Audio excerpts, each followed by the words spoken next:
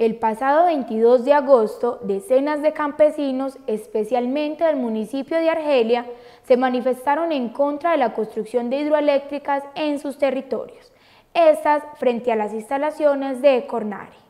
Según manifestaron los asistentes, la entidad ambiental Cornare ha otorgado cuatro licencias ambientales para la construcción del mismo número de pequeñas centrales hidroeléctricas PCH en el río La Paloma. Estamos por la defensa, la reivindicación de los derechos de los campesinos y de la, naturaleza porque estamos rechazando las PCH, porque somos conscientes como campesinos de las consecuencias, de los impactos que generan de forma incalculable, tanto ambientalmente como socialmente y económicamente en nuestra población.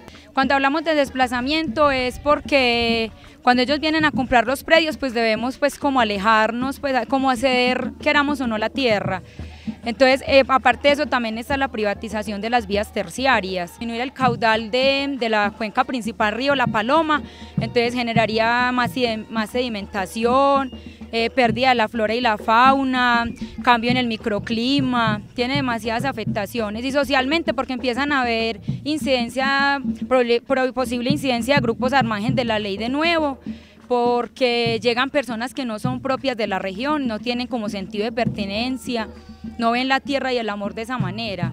Y socialmente porque generaría prostitución, de pronto microtráfico y todo lo que trae es problema social porque nosotros no estamos de acuerdo con ese tipo de proyectos, porque son proyectos que a nosotros como las comunidades, como habitantes, en vez de traernos beneficio, nos trae perjuicio. Entonces le pedimos tanto a, Cornare como al gobierno nacional que hace poco que se tomó, el poder y que nos colabore a que no nos metan más hidroeléctrica en nuestro territorio. Queremos el territorio libre, queremos el territorio de nosotros los campesinos para cultivar nuestros productos, para el sustento de nuestros hijos y el campo en vez de de pronto desalojarnos más bien que nos den ayudas y, y, proyectos, pero productivos, no proyectos. Por su parte, Cornare, representado en el director de la sede Páramo, manifestó que esta entidad garantiza la transparencia en cuanto al otorgamiento de las licencias ambientales. ¿Tienen todo el derecho a tener información? Sí. Y para mí debe ser por las vías eh, por las vías legales, mínimo la convocatoria. Hombre, nosotros no, tuvimos invitación oficial de nada, sin embargo aquí lo estamos recibiendo, oyendo, atendiendo. Segundo, es la única corporación autónoma del país que tiene una oficina exclusivamente para el manejo y otorgamiento de licencias, de licencias ambientales de diferentes proyectos. Pueden solicitar por escrito lo que necesiten. Es más, y les doy con esa certeza, si solicitan una audiencia, pero como debe ser, por los mecanismos que debe ser, una audiencia pública en el municipio de Argelia, en Nariño, en Sonsón, como se ha hecho muchas veces, con diferentes proyectos, también, pero es que vuelvo y le digo, hoy es la convocatoria más irregular. Ellos vinieron, nosotros no sabíamos nada, sin embargo aquí estamos presentes.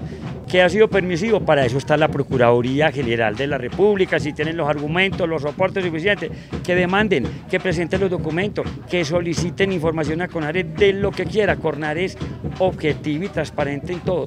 Prueba es, se puede meter cualquier ciudadano a la página de CORNARE a, la página abierta de servicio al cliente y puede acceder a cualquier convenio que se haya otorgado o permiso, porque es público.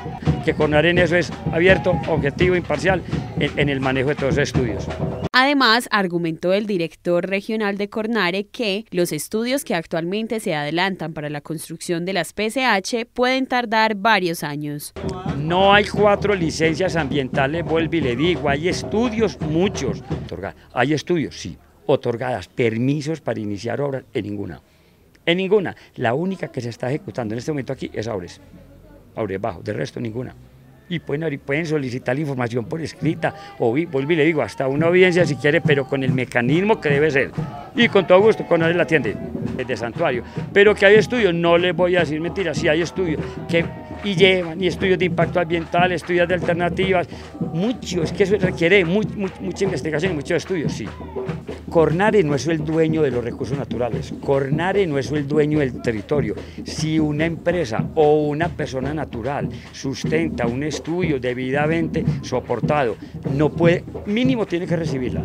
La solicitud tiene que recibirla Cornare y empieza a evaluar, empieza a evaluar. Pero que Cornare pueda decir, no vamos a recibir más documentos para, para, para permisos de PSH, no puede decirlo ni Cornare ni el municipio, eh, perdón, ni el ministerio. Finalmente, los campesinos le solicitaron a la entidad ambiental no dar las respectivas licencias para la construcción de los proyectos. Eh, generalmente uno empieza con que sean un poquito más rigurosos como al dar licenciamientos a todo lo que son proyectos extractivistas, pero como ellos eh, generalmente no, pues no, lo, no lo hacen, entonces ya nos toca como recurrir más a que eso es la defensión de la tierra, o sea, es como que Vemos que ellos, o sea, en ellos está pues lo del licenciamiento, pero nosotros somos los de la tierra, somos los que la trabajamos, somos los campesinos, los que estamos arraigados a ella, entonces nosotros no vemos otra forma, o sea, ya mandado, pues uno manda muchas cartas, entonces vinimos a mejor a ratificar unas firmas y ya un comunicado ya en sí con lo que queremos. No queremos PCHs en el municipio.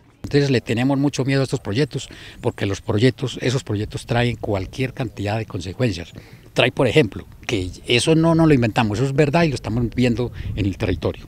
Violencia, grupos organizados, trae narcotráfico, trae prostitución, eso trae lo que quiera. Y a eso le sumamos que nos privatizan las vías, ¿cierto? Ya no podemos ingresar por las vías nuestras porque ellos fueron quienes supuestamente las construyen para el beneficio de estos proyectos. Entonces, en conclusión, nos tenemos que organizar, queramos o no, no queramos, para, para, defender nuestros intereses. Si nosotros mismos los campesinos no nos organizamos para defender nuestros intereses, ¿quién nos los va a defender si es que el Estado siempre diario está encima de nosotros? Siempre está encima de los intereses de las comunidades.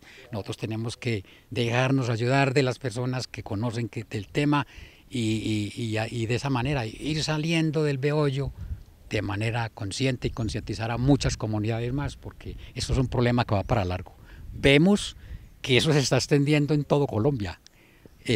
estamos esperanzados que de pronto el nuevo gobierno traiga otras políticas diferentes y esto le dé un cambio.